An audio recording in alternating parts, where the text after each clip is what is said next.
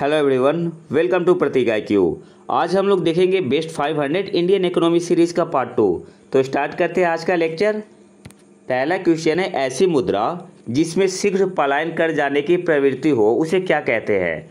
आपके पास ऑप्शन है ऑप्शन है hot money option B soft money option C hard money option D token money तो correct answer क्या हो जाएगा? Option A will be the correct answer hot money कहते हैं. टोकन मनी क्या होता है? जिसे क्या बोलते हैं? सांकेतिक मुद्रा। सांकेतिक मुद्रा। इसको भारत में सबसे पहले किसने जारी किया था? मोहम्मद बिन तुगलक ने। सांकेतिक मुद्रा किसने जारी किया था? मोहम्मद बिन तुगलक ने। नेक्स्ट क्वेश्चन पे आते हैं। राष्ट्रीय कृषि और ग्रामीण विकास बैंक, जिसे नबार्ड बोलते हैं, इसकी स्थापना किस पंचवर्षीय योजना में की गई थी? आपके पास ऑप्शन है, ऑप्शन ए चौथी, ऑप्शन बी पाँचवीं, ऑप्शन सी छठवीं, ऑप्शन डी आठवीं। तो करेक्ट आंसर यहाँ पे हो जाएगा। Option C will be the correct answer six पंचवर्षीय योजना में नाबार्ड की स्थापना की गई थी। Option C will be the correct answer भारतीय औद्योगिक वित्त निगम industrial finance corporation of India किस रूप में कार्य करता है? आपके पास ऑप्शन है, ऑप्शन ए, एक व्यापारिक बैंक के रूप में, ऑप्शन बी, एक विकास बैंक के रूप में, ऑप्शन सी, एक औद्योगिक बैंक के रूप में, ऑप्शन डी, उपयुक्त में से किसी भी रूप में नहीं। तो करेक्ट आंसर क्या हो जाएगा?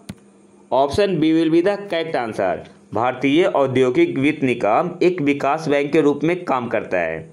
यहाँ पे आपका करेक्ट आंसर क्या हो जाएगा? Option B. नेक्स्ट क्वेश्चन पे आते हैं क्वेश्चन नंबर फोर पे। यदि वस्तु की मात्रा कम हो और धन की उपलब्धता अधिक हो तो निम्न में से कौन सी परिस्थिति उत्पन्न होगी? आपके पास ऑप्शन है, ऑप्शन ए अस्फीति ऑप्शन बी मुद्रा स्फीति ऑप्शन सी मंदी, ऑप्शन डी मुद्रा स्फीति जनित मंदी।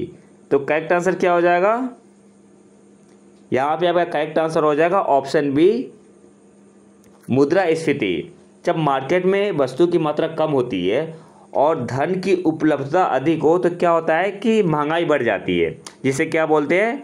इन्फ्लेशन या मुद्रा स्फीति option B will be the correct answer next question पे आते हैं क्वेश्चन नंबर फाइव पे। सस्ती मुद्रा चीप मनी से क्या आशय है?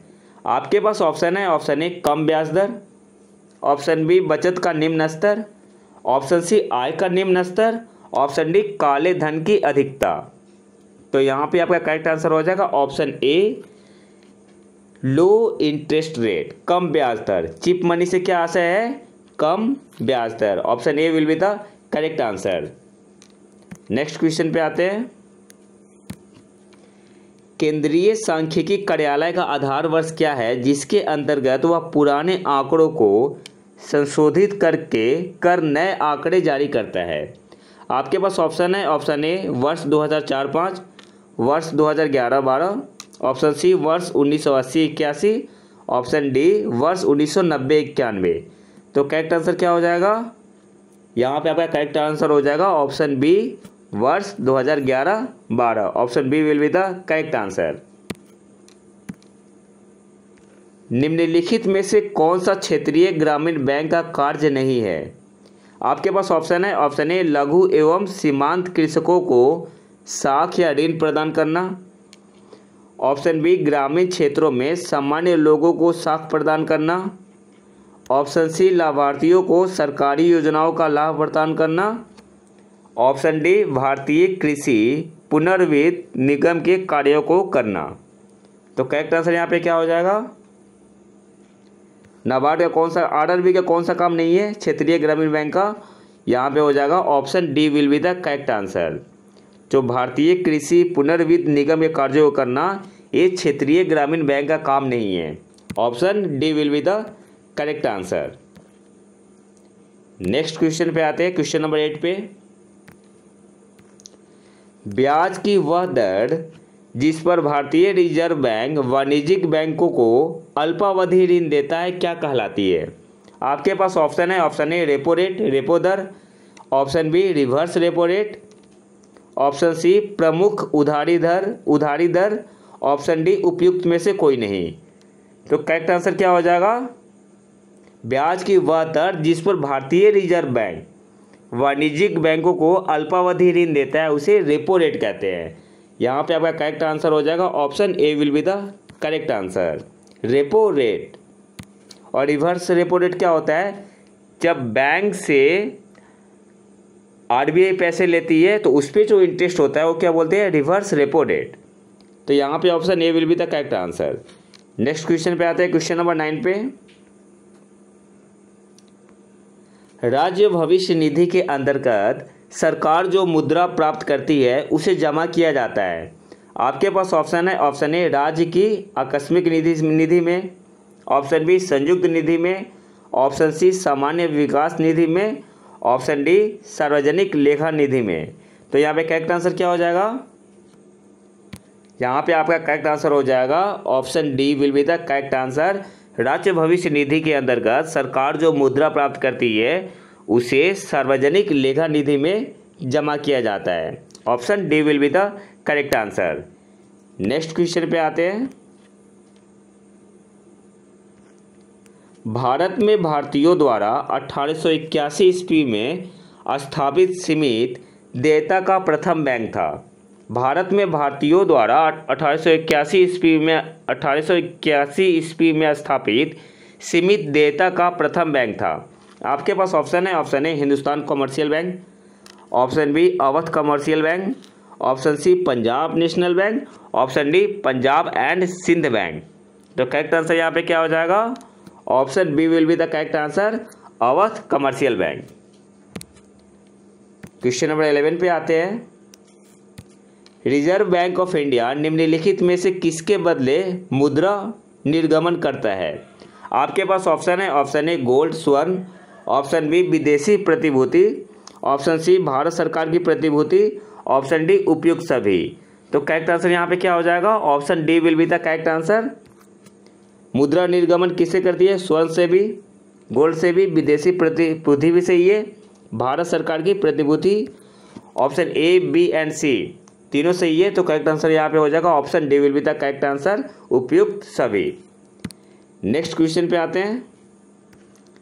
सिडबी की स्थापना की गई है।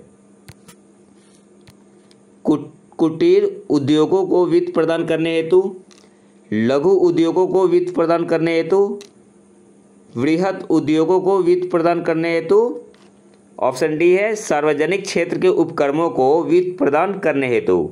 तो यहाँ पे करेक्ट आंसर क्या हो जाएगा? सिडबी की स्थापना क्यों की गई है? लघु उद्योगों को वित्त प्रदान करने हेतु। Option B will be the correct answer और सिडबी की स्थापना कब हुई थी? दो अप्रैल 1990 में। सिडबी की स्थापना कब हुई थी? दो अप्रैल 1990 और इसकी स्थापना क्यों की गई है? लघु उद्योगों को वित्त प्रदान करने हेतु। क्वेश्चन नंबर थर्टीन पे आते हैं। निम्नलिखित में से किसका निर्धारण भारतीय रिज़र्व बैंक के द्वारा नहीं किया जाता है?